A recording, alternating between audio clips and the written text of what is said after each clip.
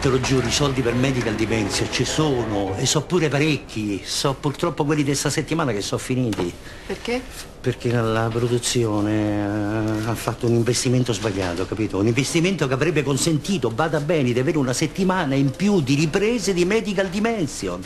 Però purtroppo che devo fare? È andata così. Così come? Non ti sto capendo, Sergio, che, che investimento hai fatto?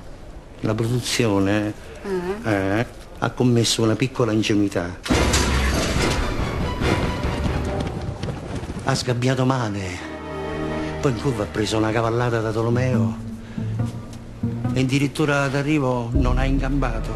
Arianna, non ha ingambato. Certo, quindi è stata la produzione che ha fatto un investimento sbagliato. Mancavano talmente sicura, Arianna, che anche tu, potendo, te l'assicuro, avresti chiamato tua madre e l'avresti convinta a mettere tutti i risparmi della famiglia su quella corsa. Eh, Che ti posso fare io?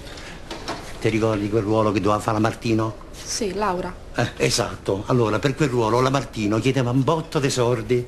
E diciamolo, un ruolo di merda, Arianna. Eh, ma noi vogliamo veramente spendere tutti sti soldi per sto ruolo di Laura de merda? Arianna, veramente? Ma che ne so, ma chiedilo a René, perché me lo chiedi a me? Ma lascialo perdere, René, lascialo stare, poi sono io a dire a René che noi all'ultimo momento abbiamo dovuto sostituire la Martino con un'altra per un contrattempo, ma tu non è che c'è un'amica che domattina potrebbe venire. No, no, no, te lo scordi Sergio, perché io tutte le amiche che ti ho portato sono sempre state maltrattate, non hanno mangiato e non le hai mai pagate. Ti prego, Arianna, ti prego, ti prego, io, io la Martino già l'ho disdetta, aiutami. L'hai disdetta? No, vabbè, guarda Sergio, eh, te la sbrighi da solo, non voglio sapere niente. Ciao. Ma mo io come cazzo faccio?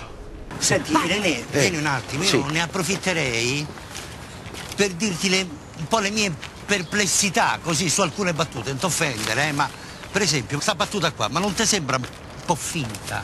Cioè, non trovi che sia più elegante se la donna qui non dice un cazzo? Cioè, non dice niente? Lo sai che c'è ragione? Sì, è meglio toglierla questa battuta. Oh, ti sta a piacere sto medical dimension, eh Sergio? Di la verità. Da morire ci tengo da morire, guarda. Ah sì, e visto che ci siamo, ti dirò che pure sta battuta io la taglierei, ma tutto sto pistolo, un po' dupalle, dai, un po' retorico. eh, vedi? Chissà, forse c'hai ragione pure qui.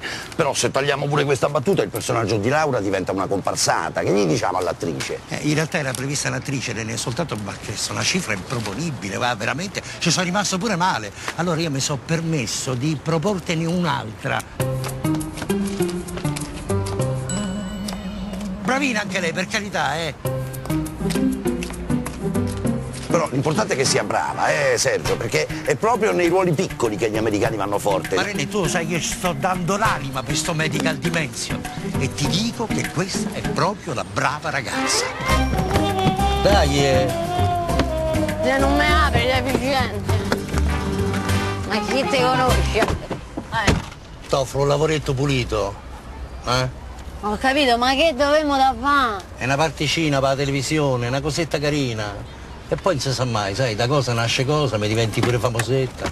E sta buona con ste mani. Vabbè, allora, senti, volevamo fare 30.000 lire? Eh? No, perché io a meno di 30.000 lire proprio manco mi muovo. Famo 30.000 lire. Siamo sentesi, manco una lira di meno. Non ti preoccupare.